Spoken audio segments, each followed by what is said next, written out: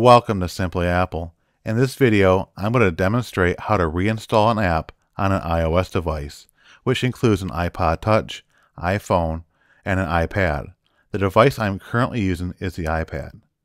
To reinstall an iOS app, you must first go to the App Store app on the device. At the bottom of the App Store screen, you will see some tabs or buttons, including one named Purchased. When I tap on the Purchased button, you will see some tabs at the top of the screen. One tab says All, the other tab says Not on this iPad. To make this process easier, I'm going to go ahead and select the tab that reads Not on this iPad.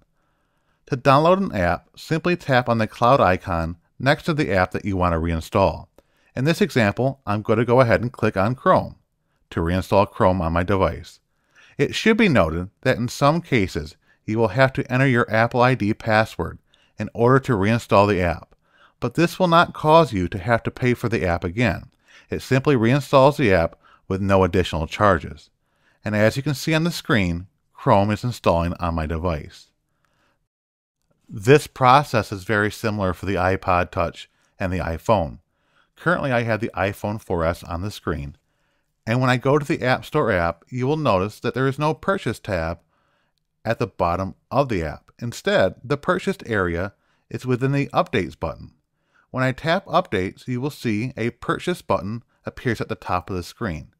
When I tap on Purchase, you are brought to a similar screen that we saw earlier in this video when I was showing this with the iPad. At this point, tap on the Not on this iPhone button to make it easier to select apps that you want to reinstall.